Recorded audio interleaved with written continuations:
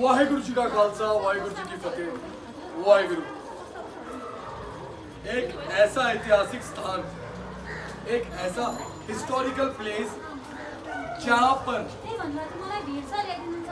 एक मिराकल जो गुरु नानक देव जी को ब्लेसिंग्स अकाल पूरक उनका कि यहाँ पे सूखा पूरा ज़मीन सब कुछ था यहाँ पर।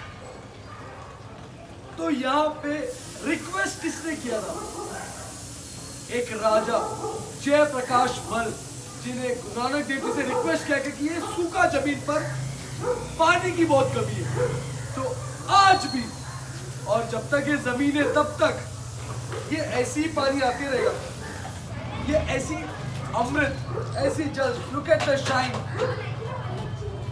आजा, पास आजा। नॉन स्टॉप 24 आवर्स जो बीदर जीरा साहिब गुरुद्वारा जो बीदर जीरा साहिब गुरुद्वारा और पाकिस्तान में पंजा साहिब। जहाँ जहाँ उनका चरण गया है वहाँ वहाँ जल और अमृत। अपने आप ये फ्लो से आया। और जस्ट ऊपर गुरुद्वारे का काम गुरुद्वारा कंस्ट्रक्ट हो रहा है। पूरा गाँव पूरा गाँव को पानी मिलता है जल, अमृत मिलता है शुद्धता को महसूस मुझे खुद को करना है। कल रात में भी आया था, कल रात में भी यहाँ पे क्राउड था तो इम्पोर्टेंस कुछ तो है इसका स्पेशलिटी कुछ तो है। ब्लेसिंग्स के बिना कुछ नहीं होता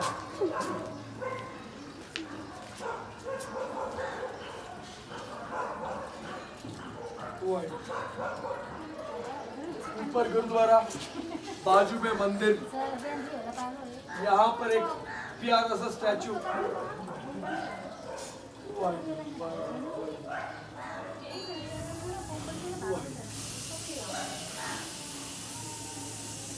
एक टाइम ऐसा था कि यहाँ पर जो लोग आके स्नान कर ले, वो अपना कपड़ा यहीं पे छोड़ के आते थे। क्योंकि गुरु नानक देव जी ने कहा, यहाँ पर आके नहा कर कपड़ा यहीं पे छोड़ कर जाओ। तो कोई बीमारी तुम्हें छुएगा तक नहीं।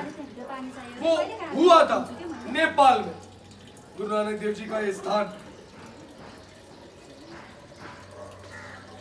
पानी अभी स्लो इसके लिए आ रहा है। अमृत अभी स्लो इसके लिए आ रहा है, क्योंकि यहाँ पे भूकंप आया था एक मिनट एक मिनट।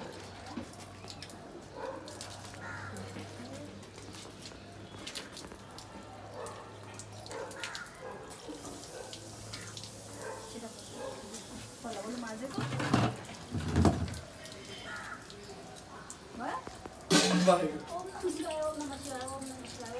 नमः शिवाय, ओम नमः शिवाय, ओम नमः शिवाय एक ऐसा मंत्र है ना ये कि एक याद करना है कि है, सबका पावर के थ्रू ये नेचर अमृत देता है।